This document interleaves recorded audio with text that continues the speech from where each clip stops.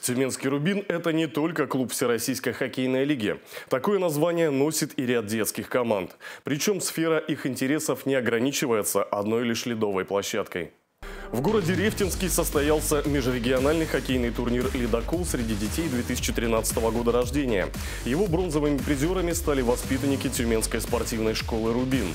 Выше команды Виктора Закирова финишировали только Екатеринбургская «СКА Юность», которая занимает второе место в рейтинге лучших команд России этого возраста, и Хризотил из Азбеста.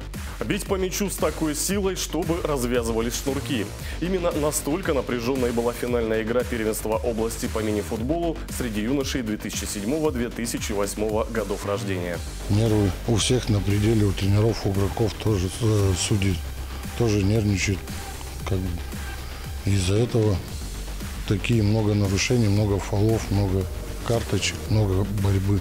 Финальные матчи должны проходить так, в такой борьбе.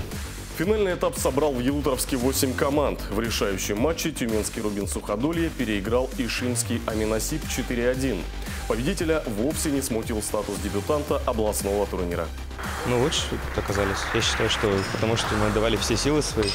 Соперники где-то ошибались. У нас тоже были ошибки, но мы пользовались ими, пользовались моментом.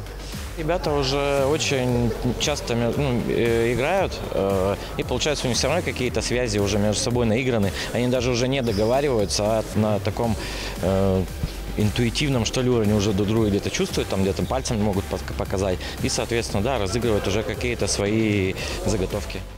Третье место областного первенства взяла команда ДЮСШ Тюменского района. И это все о спорте к этому часу. До свидания.